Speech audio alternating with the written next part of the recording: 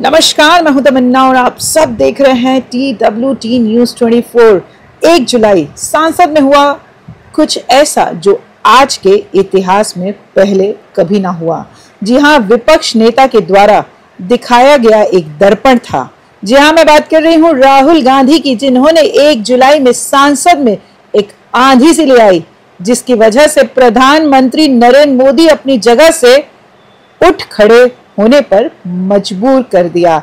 जहाँ राहुल गांधी विपक्ष को घेरते रहे और विपक्ष नेता अपनी जगह पर खड़े होते रहे, लेकिन उनको रोक नहीं सके। यह पहली बार हुआ जब पीएम नरेंद्र मोदी नेता प्रतिपक्ष को हर तरह से चुप कराने की कोशिश करते रहे और नरेंद्र मोदी ने कहा कि संपूर्ण हिंदू समाज को हिंसक कहना बेहद गंभीर बात है।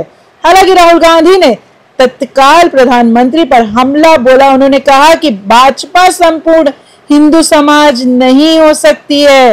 नरेंद्र मोदी जी, संपूर्ण हिंदू समाज नहीं हो सकता है। अगला आरक्षण संपूर्ण हिंदू समाज नहीं हो सकता है। इसके बावजूद भी उन्होंने भाजपा पर हमले बंद नहीं किए और लगातार सरकार की नीतियों के खिलाफ बोलते ही रहे।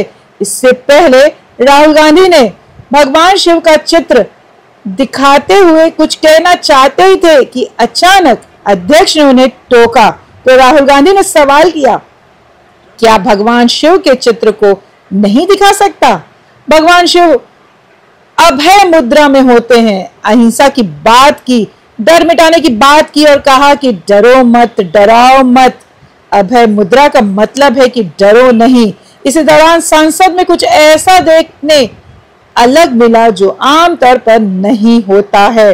राहुल गांधी द्वारा हिंसक कहने पर प्रधानमंत्री खुद पर काबू नहीं रख सके और तुरंत अपनी जगह से उठ खड़े हुए और सांसद के सामने अपनी आपत्ति दर्ज कराते राहुल गांधी से भाजपा और सरकार पर हमला बोलते हुए कहा, हिंदुत्व डर, नफरत और झूठ फैलाने के लिए नहीं है।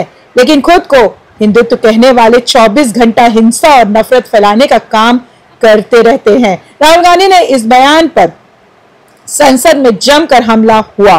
संसद पक्ष ने राहुल गांधी के बयान पर सख्त आपत्ति जताते हुए आपको बता दें कि यह तो राहुल गांधी ने भी पहली पारी खेली है, जहाँ सारे खिलाड़ी तैयार हो गए हैं। अब तो यह कड़वी बोली सांसदों में गूंजती ही रहेगी। राहुल गांधी ने डरने से मना किया है। और बीजेपी ने डरते हुए लोगों को अपने पक्ष रखने।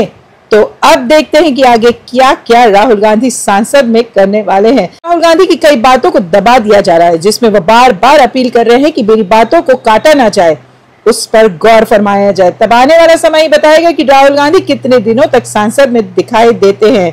हमें कमेंट्स कर ज़रूर बताएँ कि इस तरीके से कर रहे राहुल गांधी की टिप्पणी कहाँ तक सही है? हमारे चैनल को लाइक सब्सक्राइब और कमेंट्स करना ना भूले। नमस्कार।